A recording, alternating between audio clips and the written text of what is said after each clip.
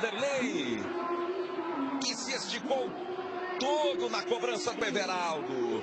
Ele fez a parte dele, a bola que toca, ele vai para a sequência, aparece Andrigo, reveja.